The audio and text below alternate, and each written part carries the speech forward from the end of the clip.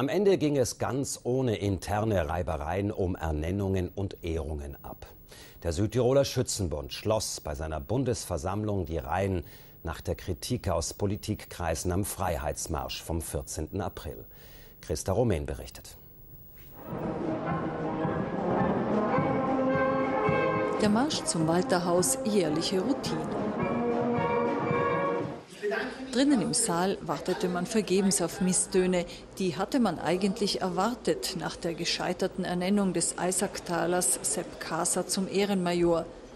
Aber auch zwölf der 20 Kompanien aus dem Brixner Bezirk waren anwesend. Und so konnte der Landesschützenkommandant in entspannter Atmosphäre seinen Jahresbericht verlesen. Man sei mit dem Ohr ganz nah am Volk, sagte er, und dies sei auch der Grund für die Abhaltung des Freiheitsmarsches gewesen. Unsere Kundgebung hat gezeigt, dass die Politik in unserem Lande endlich auch wieder den Menschen zuhören muss und nicht nur die Menschen der Politik.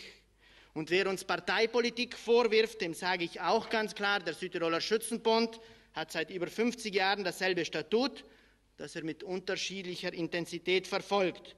Und der Südtiroler Schützenbund geht seit über 50 Jahren einen Weg, der sich zu 90 Prozent vorausberechnen lässt.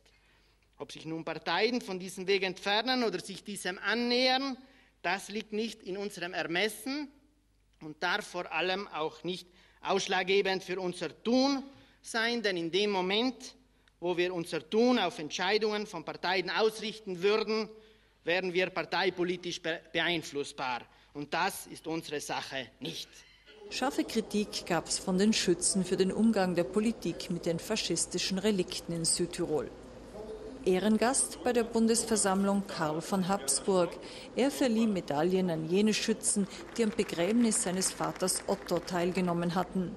Es war der Wahlspruch meines Vaters, dass er gesagt hat, nur wer weiß, woher er kommt, der weiß auch, wohin er geht, weil er weiß, wo er tatsächlich momentan sich aufhält.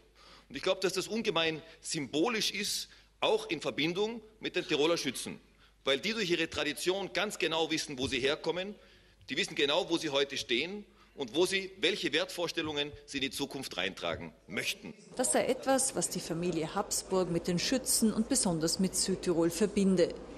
Ehrungen innerhalb des Schützenbunds gab es auch. Unter anderem wurde der ehemalige Landeskommandant Paul Bacher zum Ehrenlandeskommandanten ernannt.